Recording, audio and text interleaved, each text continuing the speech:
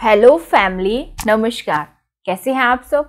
So friends आज के इस वीडियो में आपको बताने वाली हूँ, जैसे कि जो वर्किंग वीमन है, वो ज़्यादा लॉन्ग टाइम तक बच्चे को दूध नहीं पिला सकती।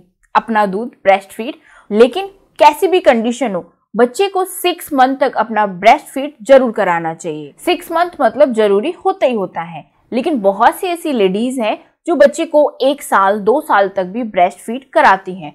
मैं अपनी बात करूँ, मैंने भी अपने दोनों बच्चों को दो साल तक ब्रेस्ट फ़ीड कराया, फिर उसके बाद छोड़ दिया। अब क्या होता है कि बच्चे का एक टाइम पीरियड होता है ब्रेस्ट फ़ीड करने का। बच्चा जब बड़ा होने लगता है तो हमें भी अजीब सा फील होने लगता है बड़े बच्चे को दूध पिलाना। और कब तक हम बच्चे को ब्रेस्ट फ़ीड कराएँ? अगर बच्चे को ब्रेस्ट फ़ीड की आदत बनी रहती है तो हम कहीं आ जा नहीं सकते। ट्रेवलिंग कर रहे हैं तो बच्चे को बीच में ब्रेस्ट फ़ीड कराना होता है। तो मतलब दिक्कतें होने लगती है, फिर जब बच्चा बड़ा होता है तो धीरे धीरे क्या होता है कि हम चाहते हैं कि फिर ब्रेस्ट फ़ीड छुड़ा दिया जाए, जिससे कि थोड़ा टेंशन फ्री बाहर जा सके।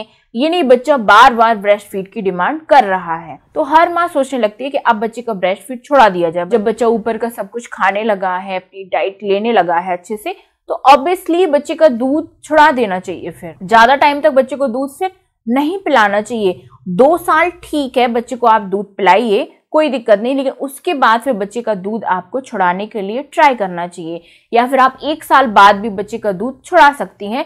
डिपेंड आपके कंफर्ट पर करता है कि आप कब तक बच्चे को दूध पिला सकती हैं। तो आप जैसे वर्किंग है तो वर्किंग मदर क्या करती हैं? सिक्स मंथ के बाद ही बेबी को ऊपर का खाना देना स्टार्ट कर देती हैं और ब्रेस्ट फ़ीड छुड़ा देती हैं। तो मर्ज़ी आपकी है, आप कभी भी बच्चे का ब्रेस्ट फ़ीड छुड़ाना चाहती हैं तो उसके लिए आपको क्या करना चाहिए? क्योंकि जब बच्चे को हम कंटिन्यू ब्रेस्ट फ़ीड करा रहे होते हैं तो बच्चे को हैबिट पड़ जाती है।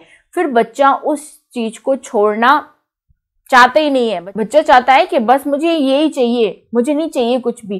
फिर इससे क्या होता है, कई बच्चे बिगड़ जाते हैं। कई बच्चे क्या करते हैं कि ओनली ब्रेस्ट फ़ीड पर ही डिपेंड हो जाते हैं और सिक्स मंथ प्लस होते भी वो कुछ भी ऊपर का खाना पसंद नहीं करते। बस वो ब्रेस्ट फ़ीड की ही डिमांड करते रहते हैं। तो ये गलत है ना? क्योंकि सिक्स मंथ प्लस बेबी को फिर एक्स्ट्रा न्यूट्रिशन की ज़रूरत पड़ने लगती है, जो कि ऊपरी खाना से ही उसके पूरे होते हैं।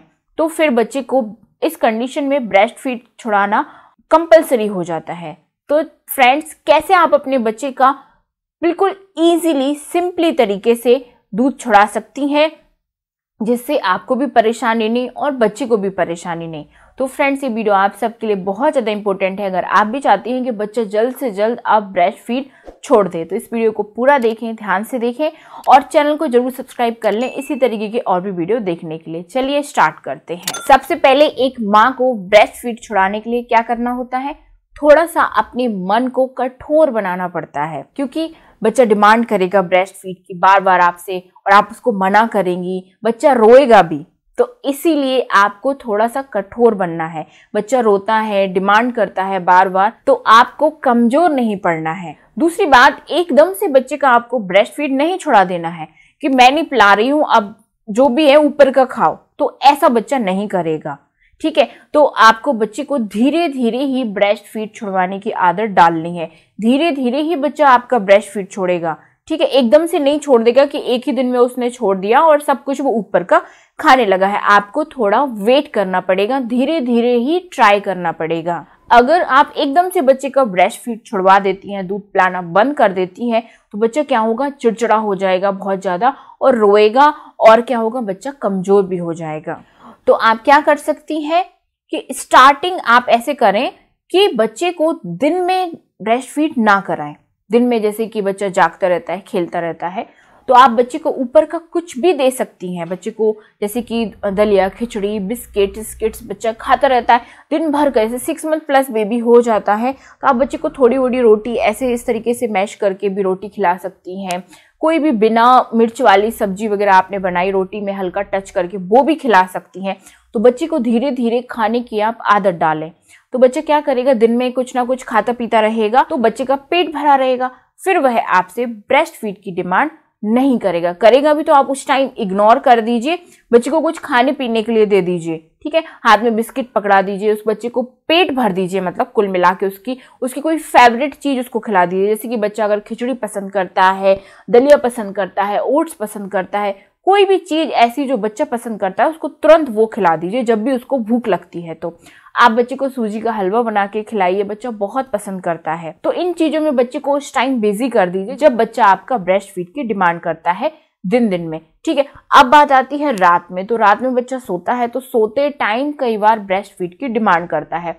तो तब तो आपको बच्चे को ब्रेस्ट फ़ीड करानी पड़ेगा। तो पूरी रात आप फिर थोड़े थोड़े टाइम में बच्चे को जब डिमांड करे बेबी तो फिर आप पिला सकते हैं ब्रेस्ट फ़ीड ठीक है? लेकिन दिन में आप इस तरीके से बच्चे का ब्रेस्ट फ़ीड छुड़वाएँगे तो बच्चे को धीरे धीरे हैबिट होगी। तो फिर बच्चा क्या करेगा? दिन में नहीं पिएगा। तो धीरे धीरे आप क्या करें? रात में बच्चे को सोने से पहले ठोस आहार देकर सुलाएँ।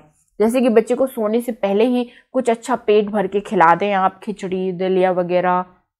जो भी बच्चा खाना पसंद करता है, सैरलिक खाना पसंद करता है, सैरलिक खिलाइए। तो उसका पेट भर के आप सुलाइए तो क्या होगा कि बच्चा फिर चार घंटे सोएगा, पाँच घंटे सोएगा, बच्चे को भूख नहीं लगेगी। ऐसे धीरे धीरे धीरे धीरे करके और बच्चे का ब्रेस्ट फ़ीड अपने आप ही छूट जाएगा, आपको पता भी नहीं चलेगा। सेम ऐसे मैंने भी अपनाया, मैंने अपने बच्चों का, दोनों का ब्रेस्ट फ़ीड अचानक से नहीं छुड़वाया। इसी तरीके से किया, दिन में डिमांड की बच्चों ने तो मैंने उनका पेट भरा, अच्छे से रात में थोड़ी बड़ी डिमांड की तो पिलाया, फिर धीरे धीरे धीरे धीरे रात में भी छूट गया। लेकिन बिल्कुल से बंद आपको नहीं करना है, क्योंकि इससे बच्चा फिर बीमार पड़ सकता है, बच्चा कमज़ोर हो सकता है।